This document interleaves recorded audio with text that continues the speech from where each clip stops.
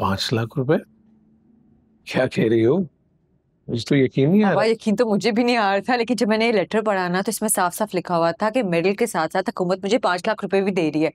आपको पता है सिर्फ़ मुझे नहीं दे रही जो सेकंड और थर्ड आए हैं उनको भी दो दो लाख रुपए मिल रहे हैं। बड़ी बात है। देखे अपनी बेटी का कमाल आपने हाँ?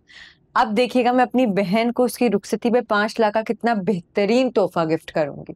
ठीक है? सुकैना जी थैंक यू अल्लाह तेरा लाख लाख शुक्र है। सुलेमान क्या ये खत ही पढ़ते रहेंगे या मिठाई भी लेकर आएँगे? तो मिठाई भी आ जाएगी लेकिन हुकूमत ने तो आज तक ऐसा बड़ा और नेक काम कभी नहीं दिया। ये आज कैसे हो गया सब? तो अब हो गया ना बाबा बल्कि मुझे लगता है अब शायद हुकूमत में अच्छे लोग आ गए होंगे। या शायद दाऊद अली का बेटा आ गया होगा वापस हमें क्या लेना देना? हुकूमत से या दाऊद अली खान के बेटे से? मैं तो सिर्फ़ इतना जानती हूँ जब से मेरे बेटे के कदम इस घर में पड़े हैं ना खुशबख्ती यहीं डेरे डाले हुए हैं। हाँ हाँ बिल्कुल। बल्कि फजल भाई को किसी ने नहीं बताया। मैं जाके देती हूँ उनको खुशखबरी। ठहरो ठहरो एक मिनट।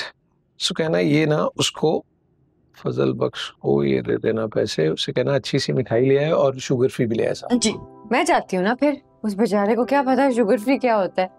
और ये आपने तीन हज़ार क्यों देती है दो हज़ार रखे चलो जी मिठाई लेकर आती हूँ।